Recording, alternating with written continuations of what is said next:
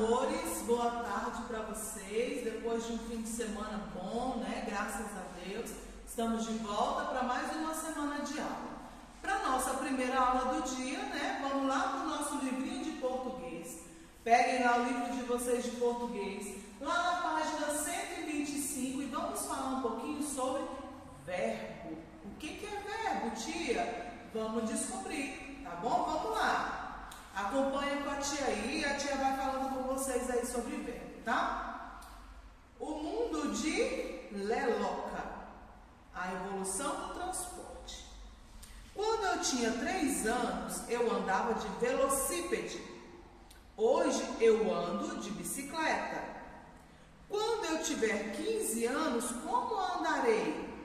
Com o trânsito do jeito que está, você andará a pé. Temos uma tirinha aí, né? Meus amores, as palavras que estão destacadas nas tirinhas indicam ação. E quais as palavras que estão em destaque nessa tirinha aí, ó? Se vocês olharem lá na primeira, tem andava. Na primeira tirinha, andava. Na segunda tirinha, é, indica andar, ando e andará. Não é isso que está em destaque aí? Essas palavras que estão em destaque nessa tinha aí indicam uma ação. Isso é verbo. Verbo indica uma ação. Então, ação de que ela andava de velocípede.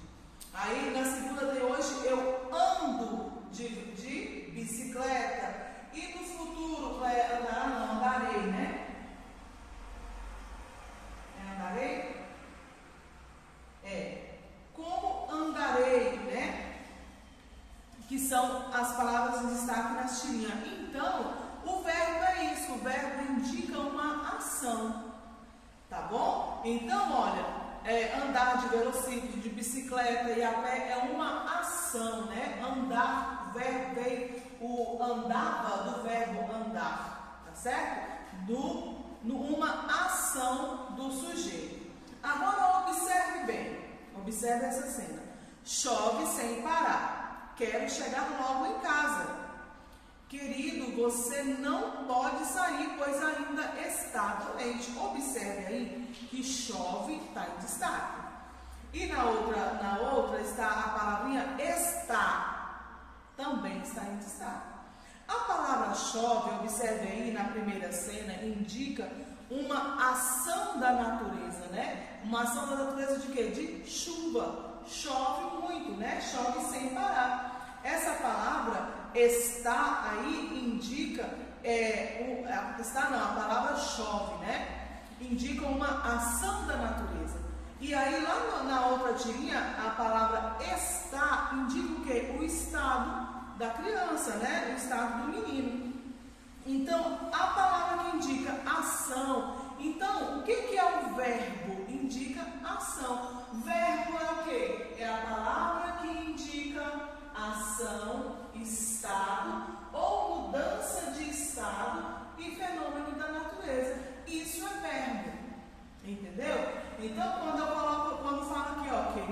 você não pode sair, pois está doente. É um estado, indica o estado que o menino está. Então, o verbo ele vai indicar o quê? Uma ação. Tá certo? Uma ação de quê? Estado ou mudança de estado e fenômeno da natureza. Isso é verbo. E aí, ainda se referindo lá, leiam aí, ó, ainda se referindo à tirinha acima, os verbos destacados indicam uma ação ocorrida no passado, quer dizer, andava, né? Temos uma ocorrida no presente, ando, e outra no futuro, andarei. Então, o verbo, ele, vai, ele pode estar no presente, pretérito ou passado e no futuro. Entendeu? Isso é verbo. O verbo vai me indicar a ação, né? Ação, estado ou mudança de estado fenômeno da, da natureza, e ele vai, estar, vai poder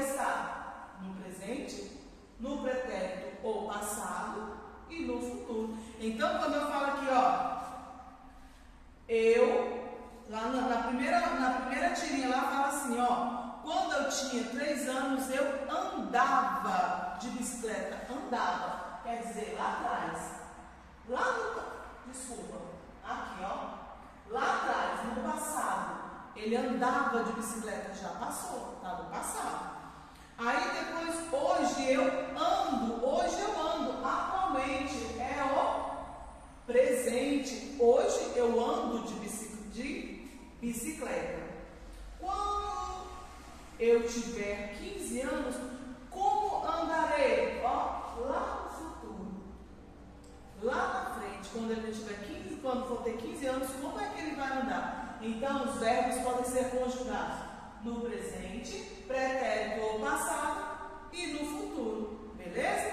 Então, eu, vou, eu preciso saber o quê? Que verbo, o que, que o verbo vai me dizer na frase? Ele vai me indicar uma ação, um estado ou e fenômeno da natureza. Beleza, meus amores?